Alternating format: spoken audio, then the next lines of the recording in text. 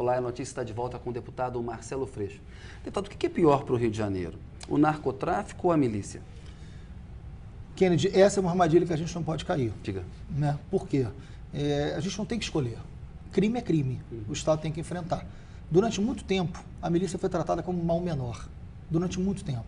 É claro que esse era um discurso construído por quem queria ver as milícias crescerem, porque a milícia não é bom ou não é interessante só para quem é da milícia. Tem muita gente que não é miliciano diretamente, mas que se beneficiou, se elegeu, uhum. elegeu o filho, né, elegeu outro filho, elegeu o irmão, né, enfim, porque a milícia, como eles dominam o território, tem poder econômico e tem poder social dos centros sociais, muitas vezes conveniados com o poder público, na maioria das vezes, recebendo até dinheiro público. Muito é mais organizado vergonha. que os traficantes, então. Não, não tem comparação. A milícia é o crime organizado, a milícia é a máfia. Mas é ruim porque durante muito tempo nós ouvimos assim, não, mas a milícia ajuda a combater o tráfico. Né? A milícia chegou a ser chamada de autodefesa comunitária pelo ex-prefeito, o que é um absurdo. Né? É um absurdo. Nós temos pessoas importantes da política do Rio de Janeiro hoje que cansaram de colocar milicianos clássicos em cargos estratégicos dentro de governos anteriores. Né? Eles formam base eleitoral, base de apoio político. E eles, como dominam o território, eles dominam também o resultado eleitoral desses territórios. Então, por isso foram considerados mal menor durante muito tempo. Esse era o discurso. Por isso cresceram tanto. E continuam crescendo. Fica aqui o meu alerta não está resolvido. Mas nesse sentido, a, milícia, então, não é pior do que o narcotráfico? A milícia, sem dúvida, é muito mais organizada. É o verdadeiro crime organizado. Né? O, o, que nós chamamos de narcotráfico no Rio de Janeiro, principalmente esse que ganha visibilidade Sim. nas TVs, que, que é o da favela, uhum. é o crime do varejo. Né? Qual é a imagem desses grandes traficantes das favelas? Né? Sandália havaiana, subnutridos, baixíssima escolaridade, negros, jovens, desdentados, né? Enfim, isso é crime organizado em que lugar do mundo? Só no Rio. Né? Isso, não é, isso não é a imagem do crime. O crime se organiza onde tem dinheiro e poder. Sim. Em qualquer lugar do mundo, o crime se organiza onde tem dinheiro e poder. Não é na favela. A favela é um espaço onde muitas vezes o crime é violento, ele tem que ser enfrentado, o tráfico tem o coração na sola do sapato, né, tem muita morte, tem muita truculência, tem que ser enfrentado. Ninguém aqui está também criando um discurso é, de aceitação Sim. de um determinado crime. Sim, não, não, não, é, é isso. isso. Né? Agora, a milícia é o crime organizado por agentes públicos dentro do Estado, é projeto de poder. Elegeram deputados, nós caçamos durante a CPI das milícias, elegeram vários vereadores, vão eleger de novo ano que vem vão eleger de novo no que vem, porque eles não perderam seu poder econômico nem territorial, que é a grande queixa que eu faço no Rio de Janeiro. Nós fizemos uma CPI muito bem é, desenvolvida, concluída, aprovada por unanimidade na Assembleia Legislativa, que é raríssimo, né? mas tem 58 propostas concretas. A CPI gerou a prisão de uma série de pessoas que o governo do Estado agiu corretamente. Estão presos. Estão presos, mais de 500, 590 prisões de 2008 para cá. É um número forte, expressivo. um número expressivo, né? Mas não basta, porque a máfia você não pode só prender. Porque se você prende, mas ele domina o território, domina a atividade econômica, de dentro da prisão se comanda o crime. Na, na, época de 2008, quando nós fizemos a CPI, nós tínhamos 170 áreas dominadas por milícia, hoje nós temos mais de 300.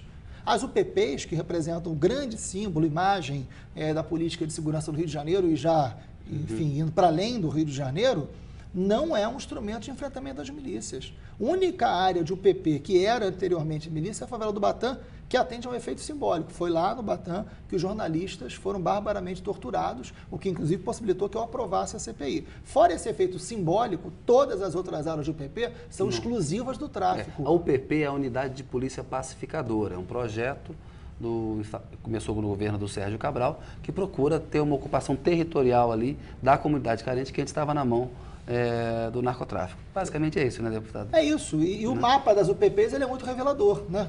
É o mapa do, do corredor hoteleiro da Zona Sul, do entorno do Maracanã. E em Jacarepaguá, que é uma área muito dominada por milícia, só tem o PP na Cidade de Deus, que era o único lugar que tinha tráfico. Todo o restante, toda a vizinhança da Cidade de Deus está na mão da milícia e que continua com o seu domínio territorial. Você acha que a, a, UPP não resolve? Ela é uma experiência muito localizada? Qual é a sua visão? Porque é, tem toda uma comoção no Rio de Janeiro de que o Sérgio Cabral, no governo, de alguma maneira, ele enfrentou a questão da, da segurança pública, parando de nomear, é, fazer nomeações políticas para delegado. O José Mariano Beltrame é o secretário da Segurança do, Pública do Rio de Janeiro. Eu queria saber qual que é a sua opinião sobre o trabalho do Beltrame. Assim, não tem um mérito na, no governo Cabral em relação às questões de segurança pública, deputado? Sem dúvida alguma, eu reconheço que a não politização do espaço de confiança da Secretaria de Segurança é um avanço que o Rio de Janeiro precisava muito. Isso a gente precisa reconhecer. Né? Nós tivemos ex-chefes de polícia e ex-secretários como, na verdade, pessoas que organizavam o crime. Uhum. Né? Enfim, e faziam da Secretaria de Segurança, da chefia de polícia, o escritório do crime. Não ter isso é um avanço enorme. Agora, ter alguém honesto é mais do que obrigação também, né? Vamos combinar de que é obrigação a pessoa ser honesta, né? Isso também não, não pode virar um grande é. instrumento de elogio. Agora, fora isso, a UPP é um projeto de cidade que tem os seus méritos que a gente uhum. precisa discutir. Uma pessoa que mora numa área de UPP, quando você conversa com ela, ela diz o seguinte: olha, não tem mais a presença da arma, não tem mais o tiroteio, não tem mais a guerra e minha isso, vida melhorou. Isso é bom. Isso é bom. Uhum. Você não tem como dizer para essa pessoa que não é bem assim. Claro que é. Né? Tem que reconhecer. Agora, é um projeto de cidade, não é um projeto só voltado para essa favela. Ela precisa ser entendida, a UPP precisa ser entendida na sua lógica maior. Você acha que dá para estender para todas as comunidades é carentes? É absolutamente impossível. São não mais dá. de mil.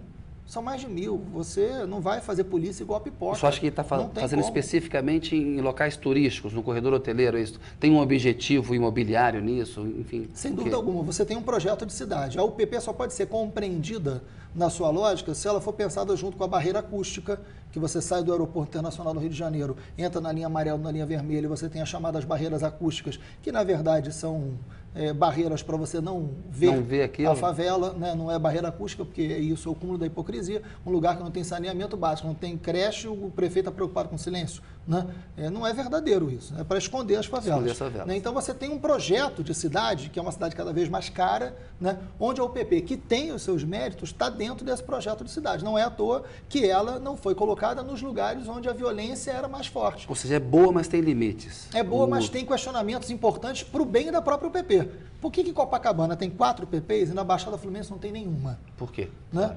Porque a Baixada Fluminense não faz parte desse projeto de cidade, não faz parte desse projeto de concepção do poder público que é voltada a garantir os grandes investimentos do capital privado. A Baixada Fluminense é uma área, né? o próprio nome diz de Baixada aí no Rio de Janeiro, entrando para o continente, com cidades com populações mais carentes do que no Rio de Janeiro. E com índices de criminalidade muito mais elevados do que os índices de onde você tem as UPPs. Então, eu não é, desconsidero a UPP, eu acho que é um projeto importante, Sim. que tem avanços, mas precisa, para o bem da UPP, para o bem da lógica do policiamento comunitário, precisa ser entendida numa concepção de cidade num outro debate. Deputado, em novembro o senhor viajou com a sua família para a Europa durante é, 15 dias. O senhor recebeu aí ameaças é, de morte. Qual é a natureza dessas ameaças? Elas é, é, como elas chegaram até o senhor?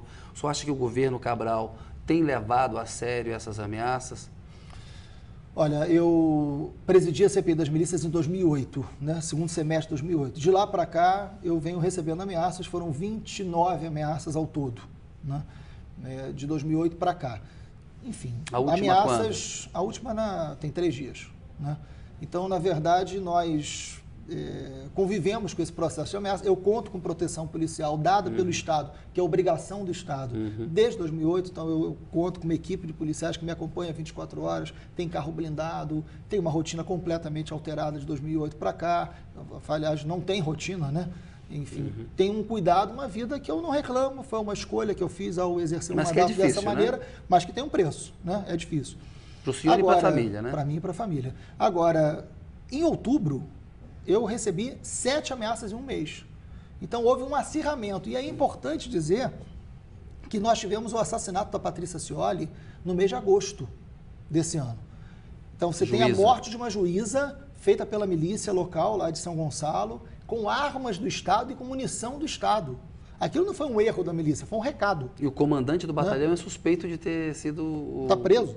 Né? O comandante do batalhão é o mandante, o mandante, segundo as, investiga as investigações, das investigações né, da Delegacia Isso. de Homicídio. Enfim, nós passamos o mês de setembro e outubro eu recebo, eu começo a receber ameaças muito mais detalhadas.